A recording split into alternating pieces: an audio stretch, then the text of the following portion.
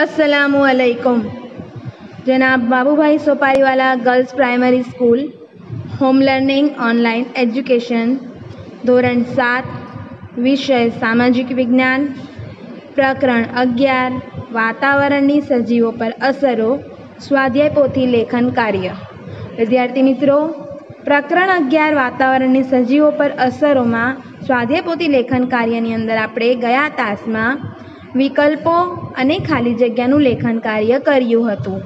હવે આજના વિડીયોમાં આપણે સ્વાધ્યાયપોથી લેખન કાર્યની અંદર ખરા ખોટા અને જોડકા આ બે પ્રશ્નોનું લેખન કાર્ય કરવાના છીએ. પ્રશ્ન ત્રણ હું અહીંયા વાંચી રહી છું. નીચેના વિધાનોમાંથી ખરા વિધાનો સામે ખરાની અને ખોટા વિધાનો સામે ખોટાની નિશાની કરો. પહેલો મુદ્દો છે વાતાવરણનું નિર્માણ. પહેલો સવાલ છે એની અંદર. વાતાવરણમાં વાયુ, પ્રવાહી અને ઘન તત્વો આવેલા છે. આ વિધાન ખરું છે. બીજું, વાતાવરણમાં નાઇટ્રોજન વાયુનું પ્રમાણ આશરે એકવીસ ટકા જેટલું છે.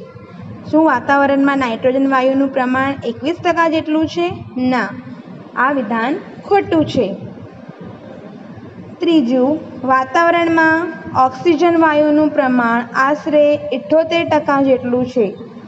આ વિધાન પણ ખોટું છે એટલે અહીંયા આવશે ખોટાની નિશાની.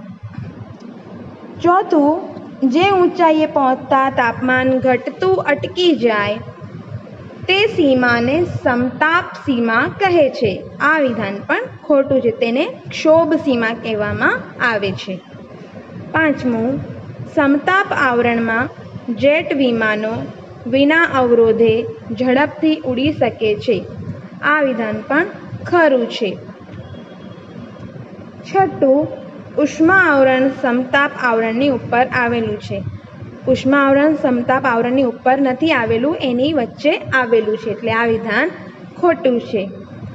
સાતમું, પૃથ્વીના રેડિયો પ્રસારણો વાતાવરણના મધ્યાવરણને આભારી છે. આ વિધાન ખોટું છે એટલે અહીંયા આવશે ખોટાની નિશાની. ત્યાર પછી બીજો મુદ્દો છે હવામાન અને આબોહવા.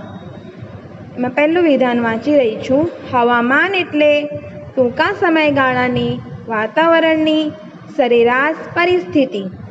હવામાન એટલે ટૂંકા સમયગાળાની વાતાવરણની સરેરાશ પરિસ્થિતિ. આ વિધાન સાચું છે.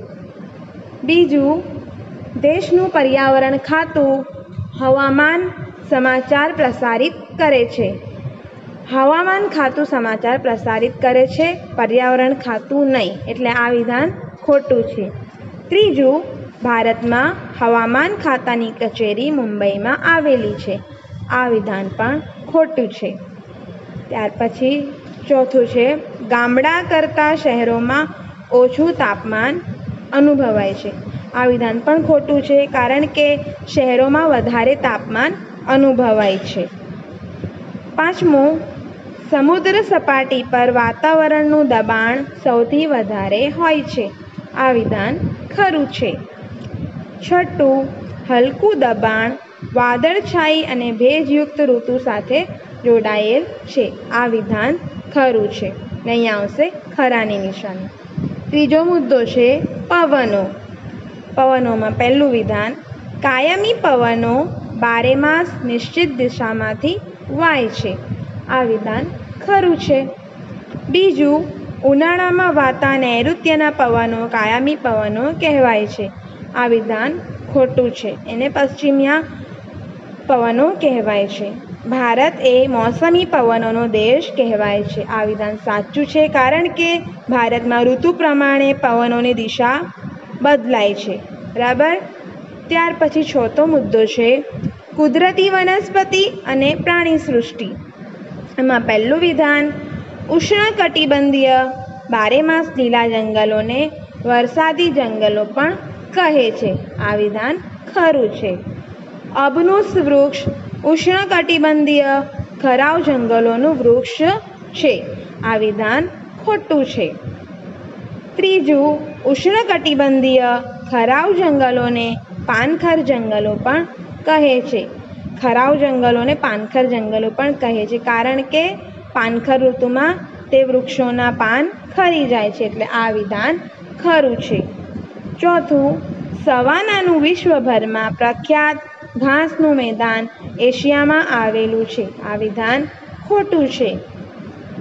પાંચમું રણ પ્રદેશની આબોહવા ગરમ અને શુષ્ક હોય છે. રણ પ્રદેશની આબોહવા ગરમ અને શુષ્ક હોય છે. આ વિધાન ખરું છે. રણ પ્રદેશ છે એટલે આબોહવા ગરમ અને શુષ્ક હોય છે. ત્યારબાદ ચોથો પ્રશ્ન છે, બંધ બેસતા જોડકા જોડો. વાતાવરણનું નિર્માણ. વિભાગ અ. શોભ આવરણ. શોભ આવરણ? શોભ આવરણમાં વાતાવરણના તોફાનો અનુભવાય છે. શોભ આવરણમાં વાતાવરણના તોફાનો અનુભવાય છે. સમતાપ આવરણ. સમતાપ આવરણમાં ઋતુઓ થતી નથી. એટલે કે સમતાપ આવરણમાં ઋતુઓ થતી નથી. ઉષ્મા આવરણ. ઉષ્મા આવરણ. હવા અતિશય પાતળી હોય છે. ઉષ્મા આવરણમાં હવા અતિશય પાતળી હોય છે. ચોથું બાહ્ય આવરણ. બાહ્ય આવરણમાં આયન આવરણની ઉપરનું આવરણ છે. બાહ્ય આવરણ જે છે એ આયન આવરણની ઉપરનું આવરણ છે. બીજું પવનો. પવનોમાં વિભાગ અ વ્યાપારી પવનો. વ્યાપારી પવનોને કાયમી પવનો પણ કહેવામાં આવે છે. કાયમી પવનો. કાયમી પવનો પશ્ચિમિયા પવનો પણ કહેવાય છે.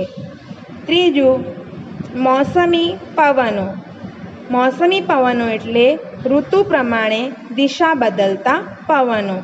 મોસમી પવનો એટલે ઋતુ પ્રમાણે દિશા બદલતા પવનો. દરિયાઈ અને જમીનની લહેરો. દરિયાઈ અને જમીનની લહેરો એ દૈનિક કે સ્થાનિક પવનો કહેવાય છે. દૈનિક કે સ્થાનિક પવનો કહેવાય છે. ત્રીજું, કુદરતી વનસ્પતિ અને પ્રાણી સૃષ્ટિ વિભાગ અ. ઉષ્ણકટિબંધીય બારેમાસ લીલા જંગલો. ઉષ્ણકટિબંધીય બારેમાસ લીલા જંગલોમાં રોઝવુડ અબનુસ, મેહોગની એનો સમાવેશ થાય છે. ઉષ્ણકટિબંધીય ખરાવ જંગલો. એની અંદર સાગ, સાલ અને સીસમ આ પ્રકારના વૃક્ષોનો સમાવેશ થાય છે. સમશીતોષ્ણ બારેમાસ લીલા જંગલો. એની અંદર વાંસ ચીડ અને નીલગિરી. આ વૃક્ષોનો સમાવેશ થાય છે. ચોથું, શંકુદ્રુમ જંગલો. શંકુદ્રુમ જંગલોમાં ચીડ, દેવદાર અને ફર આ વૃક્ષોનો સમાવેશ થાય છે. વિદ્યાર્થી મિત્રો, આજના આ વિડીયોમાં આપણે આ બે પ્રશ્નોનું લેખન કાર્ય કર્યું. તે તમારે તમારી સ્વાધ્યાય પોથીમાં ફરજિયાત સારા અક્ષરે લખવાનું રહેશે. Okay, thank you.